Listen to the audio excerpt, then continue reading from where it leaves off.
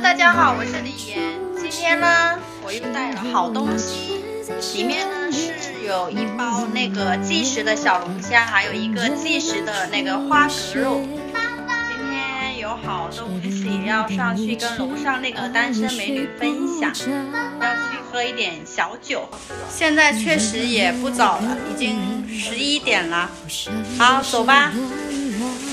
上一次呢是喝葡萄酒，今天是喝啤酒，因为我觉得小龙虾再配一些葡萄酒会很奇怪，还是喝扎啤会比较舒服。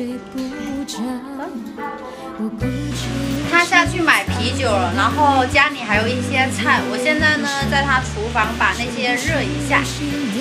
计时的呢还挺方便的，打开热一热就可以吃了。邻居呢又下楼扛了一箱百威，他怕我不够喝，这些都已经热完了，是不是特别想吃呀？摆盘是不是很到位呀？今天的夜宵好丰盛啊！我的邻居穿了一件旗袍，好好看。